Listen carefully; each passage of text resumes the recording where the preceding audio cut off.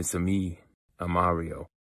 You ever eat cheese? Cheese is a funny thing. Cheese is a strange thing. I, I always wonder, like, where, what is cheese? Where does it go? I'll bet you 10 I can beat you. I just wiped you out five times.